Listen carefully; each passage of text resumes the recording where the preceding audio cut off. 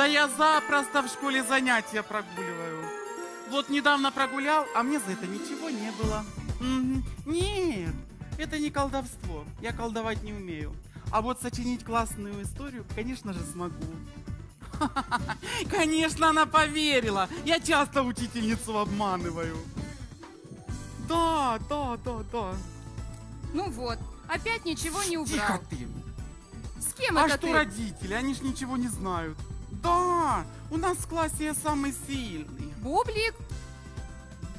Я бы с ней тоже дружить не стал. С тобой? Конечно. Буду дружить. Потому что с тобой интересно и весело. Ладно, пока. Ну чего ты пристаешь? Мешаешь с другом разговаривать. А кто этот друг? Я его знаю? Колдунья из сказки. Она в год петуха усыпила всех. И забрала у петушка и голос, и золотой гребешок. Представляешь? Сама позвонила. Хочет со мной дружить. Так ведь она недобрая, страшная, столько дел натворила. Это она такой притворялась. Чтобы всем было весело. Да уж, с нею обхохочешься. Бублик нельзя доверять тем, кого ты не знаешь. Мало ли что у них на уме. Я понял. Ты, Бусинка, просто завидуешь. Что колдунья не тебе, а мне позвонила и дружить предложила. Все, ты мне больше не друг. Бублик, Бублик, подожди! Здравствуйте, ребятишки! Я очень рад нашей новой встрече. Хм, а где же Бусинка и Бублик? Они давно должны были прийти. Ну, пока мы их ждем, я расскажу вам о новогоднем празднике и как его отмечают в разных странах. Начнем? Ну, давайте с Италии. В Италии считается, что Новый год надо начинать, освободившись от всего старого. Поэтому в новогоднюю ночь принято выбрасывать из окон старые вещи.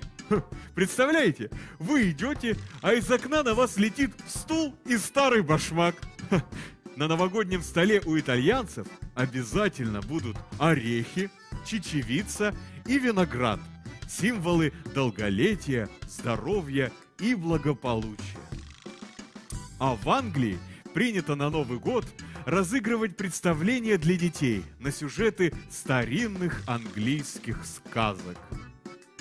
Лорд Беспорядок ведет за собой веселое карнавальное шествие, в котором принимают участие сказочные персонажи Хобби Хорс, Мартовский Заяц, Шалтай-Болтай и другие.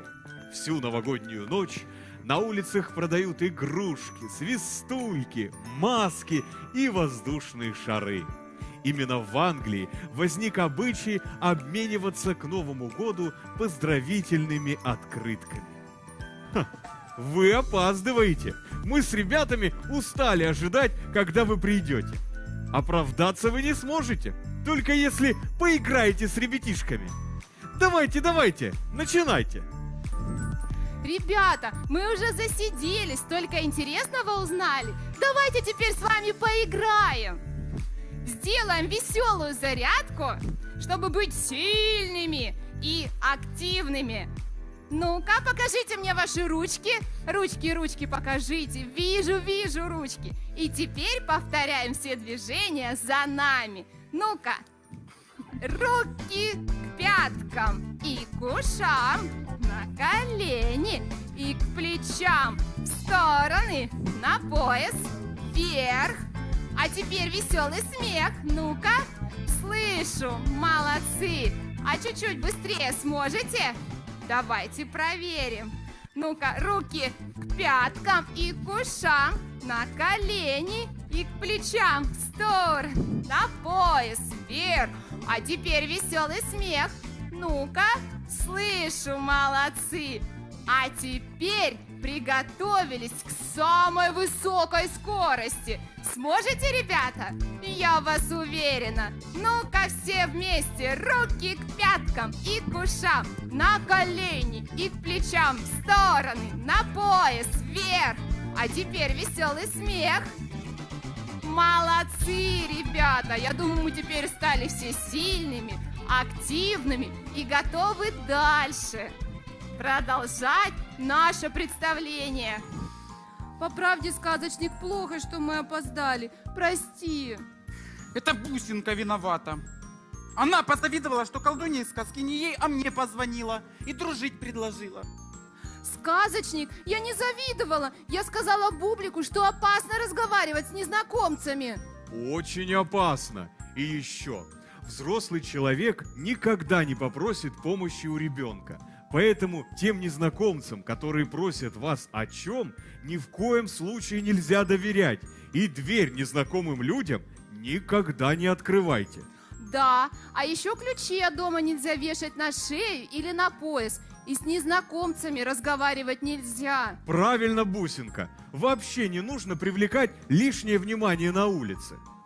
И не нужно ни с кем ссориться на улице, а лучше вообще никогда не ссориться. Ты первая начала. А ты учительницу обманывал. Это мое личное дело.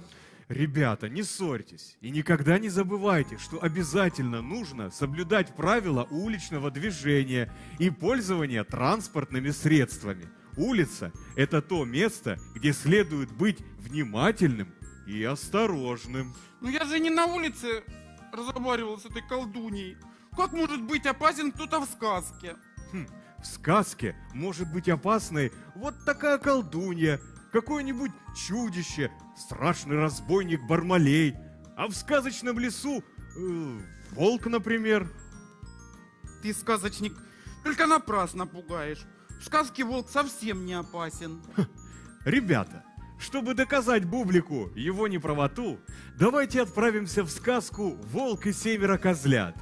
А попадем мы в нее, если произнесем волшебные слова. Новый год, волшебства не гаси, ты скорее в сказку нас отнеси.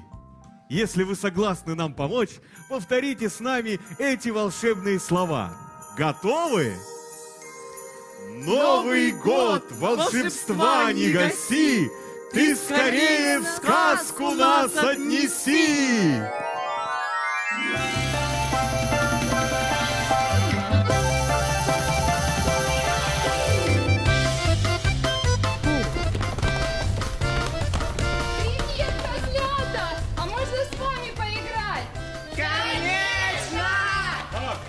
Не забудьте пригласить всех наших друзей и ребятишек! Приглашаем! Ребята, давайте с нашими козлятами все вместе потанцуем веселый танец. Готовы повторять за нами? Тогда поехали! Вокруг себя. В другую сторону.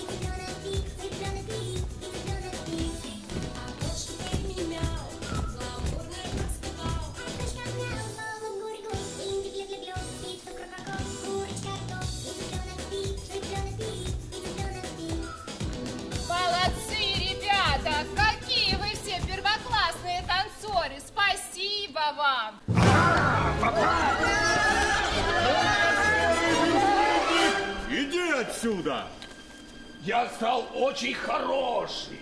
Я даже на маму козу похож. Я же говорил, волк не опасен. Нет, Волк, это тебе малыша козлят удалось обмануть, но мы-то с ребятами знаем, как ты пытался их похитить. Нет тебе доверия. Да-да, так и было! Но я стал хорошим, я исправился. Я никого не обижаю. Приглашаю ребятишек. И вас, козлята. и вас, Бусинка с Бубликом, поиграть со мной. Поиграть? А в какую игру ты будешь с нашими ребятами играть? Расскажи. А поиграем в прыжки. Прыжки, ребята, слышали? Будем в прыжки играть. Ну-ка, рассказывай движение. Ну что, ребята, готовы? Тогда повторяем все за мной. Итак, поехали!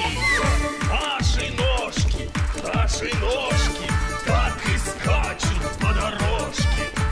Выше, выше правая, скачет, скачет левая. Покружились, и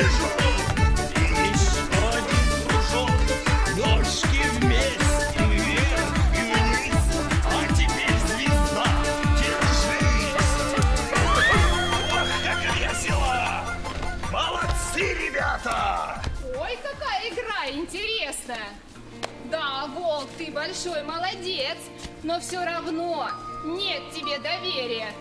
Это обидно слышать.